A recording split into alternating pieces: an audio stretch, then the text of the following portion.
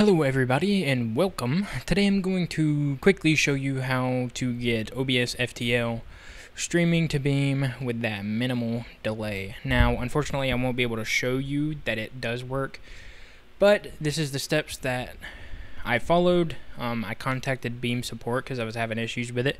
They helped me out. Um, super awesome. So real quick, you want to download this link in the description here.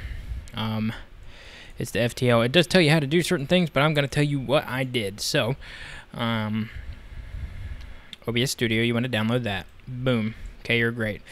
Now, it'll you'll install it. You'll have two versions, 64. I mean 64-bit and the 32-bit.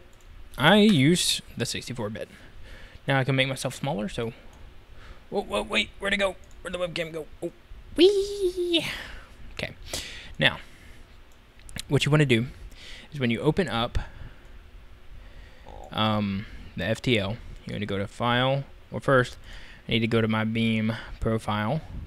Go to File, Settings, Stream, and here.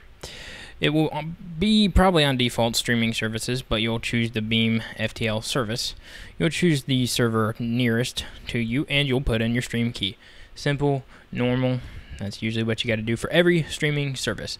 However, you're going to go to output. For encoder, works best with the CPU encoder instead of the GPU encoder, so I recommend if you can using the CPU encoder. I set my bitrate to 2500. The keyframe interval, based on what I saw on Beam's site, I put it to 1. Um, it seems to work fine. CPU usage, if you don't have the greatest CPU like me for playing games and streaming at the same time. I bumped it down to super fast and it still looks pretty great. Um, so there's always that. and then here, make sure you have advanced chose. Should have said that a little before. Um, the X264 options, you want to type this in. This that's what's going to enable the um, super short latency. It's like a millisecond, or I mean, not a millisecond. It's crazy. It's under a second. Um, it's awesome. So, if you've been trying to get it working with OBS and you haven't really been able to figure it out, like I wasn't able to figure it out, this is how I do it, and this is how it works, and it works perfectly. So, hope that helped you guys. if you have any questions, feel free to ask me. Also, if you ever have any questions about Beam, contact their customer support. Um, they're awesome. They'll respond to you quickly, and it's they're really great. So anyway, thanks for watching, guys. Hope this helped you. If it did, leave a like, and yeah, I'll see you guys in the next one.